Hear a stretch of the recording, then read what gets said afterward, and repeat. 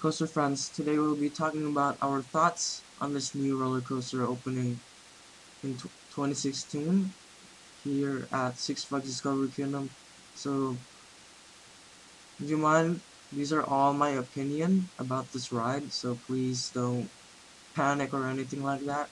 Don't put any dislikes because I might be wrong or I might be right. So,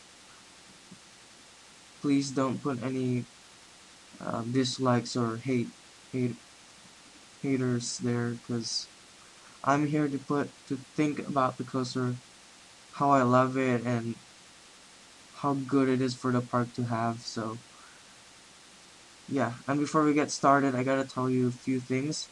I've been busy over these days so sorry if I'm doing this late.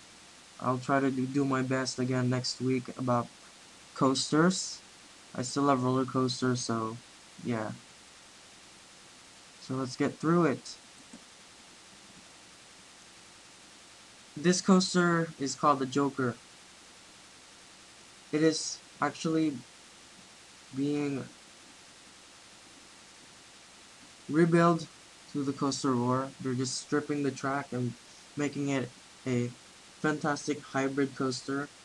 And this coaster is about 300 or if I'm getting wrong 300,000 probably?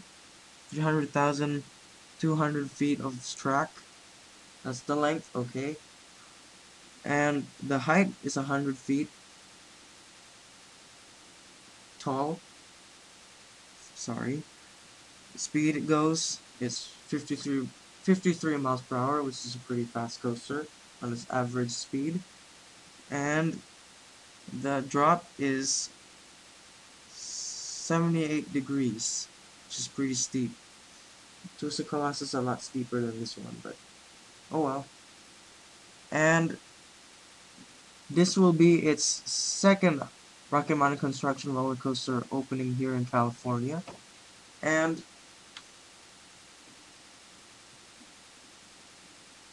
it has been rumored, it was rumored that they're going to RMC the roar at Six Flags Discovery Kingdom, so that's why they RMC it in Discovery Kingdom, because of the rumors.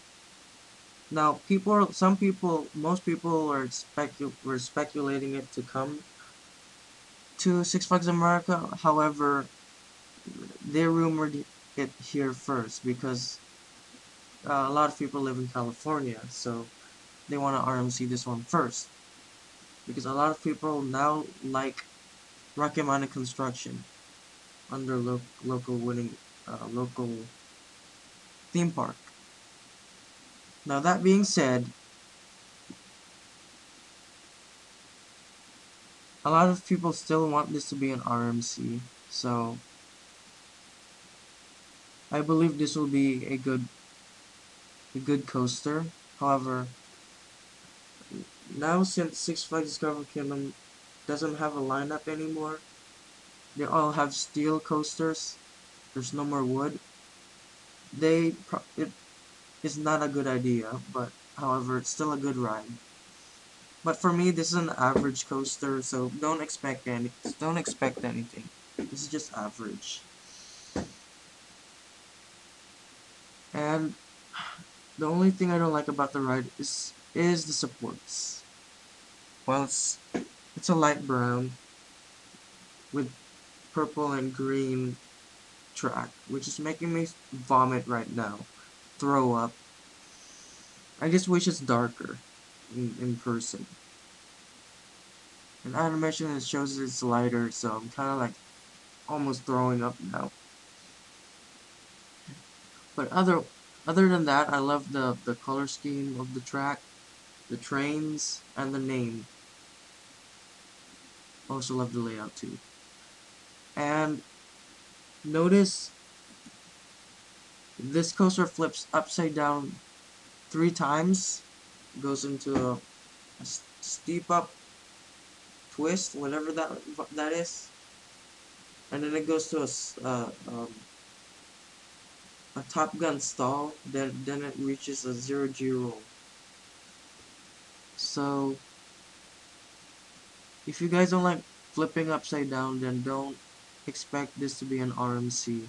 Just cry if you have to, because some people don't like rides that flip you upside down. But I do. I love rides that flip you upside down. You know, because it feels like you're hanging, you're, you're having hang time. So, this ride, I'm not so crazy about it. It's just that it's just an average coaster. It's average. So, just just remember guys, Six Flags Discovery Kingdom is not my home park. Six Flags Magic Mountain is my home park, so please don't say any bad stuff about it, because this will have to retire. But other than that, I think we're off. So, so if, if you have anything to say, please comment in the box below, and please don't forget to hit the subscribe button below. Because then if you don't, guess what? This channel will have to retire and leave. So, by the way, better luck next time, and we'll see you guys either tomorrow, because I'm planning on making a